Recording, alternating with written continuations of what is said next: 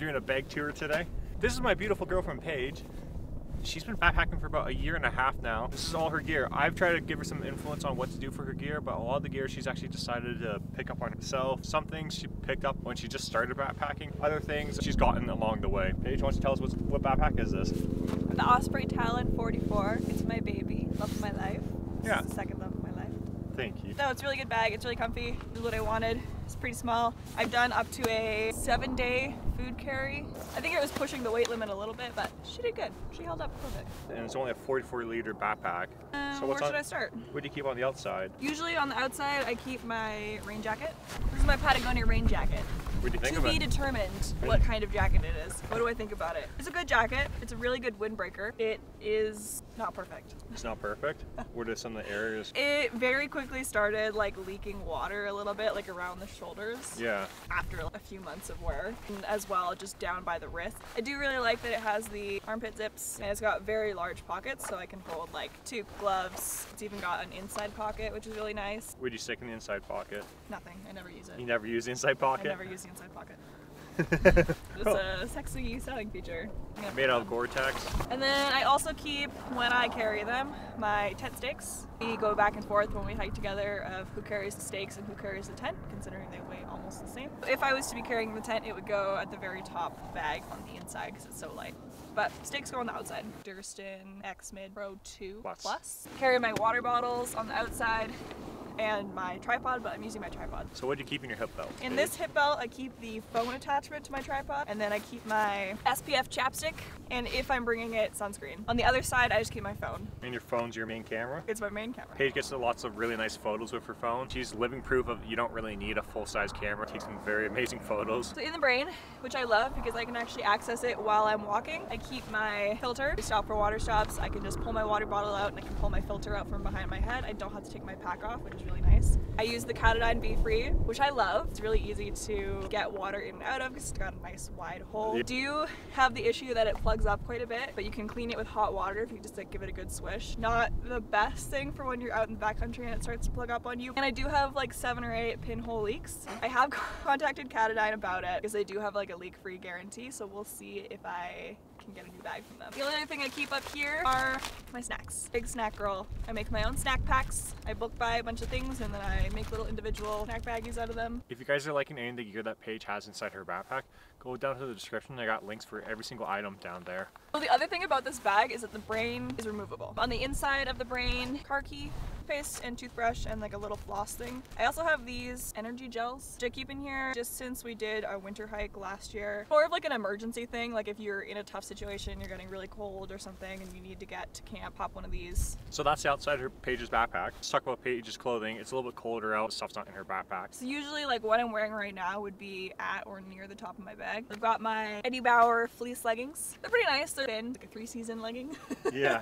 And then I just have like wool socks on because that's what I was sleeping in. I hike in Darn Tough merino wool socks, which I really like.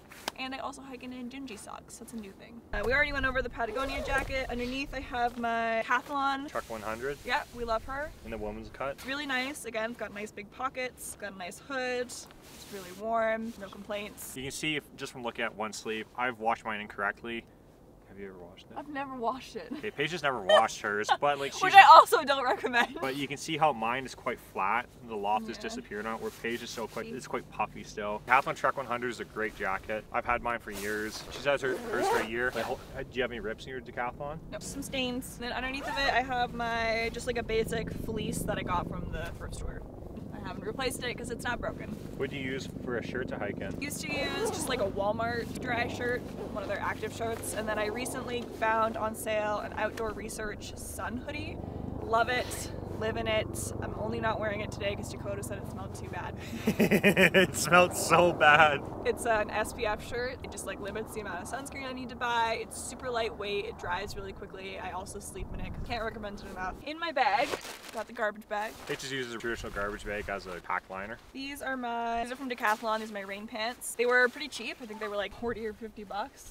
Honestly, like no complaints about them. They've got the zipper. They're easy to put on. They're not that waterproof. They work really well as a windbreaker and to keep like mist off. They've got a nice drawstring, zipper, button. They can pack into this little pocket. My first aid kit. It's pretty light. Yeah, Not much else to say about that.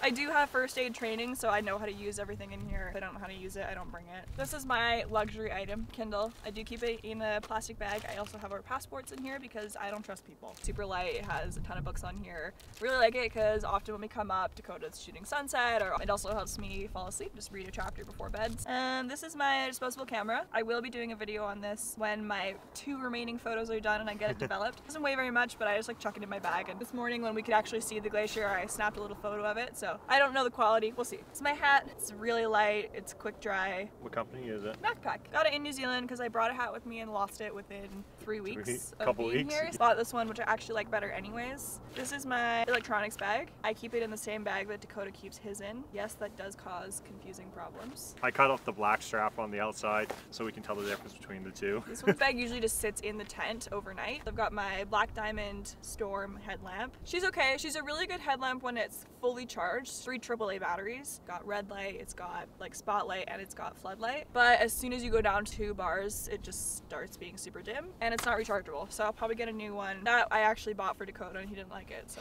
I used it. I like the rechargeable ones. I keep my earplugs in here. I keep three earplugs in In case case I lose one. one. Yeah, I've got my iPhone charger, I've got a Kindle charger, and I've got my Apple Watch charger in here. And this is my So you got a 10,000 milliamp hour power 10,000 bank. milliamp. It's pretty heavy, but it does the job. Yeah, and that's it. That's all that's in there. This is my favorite bag.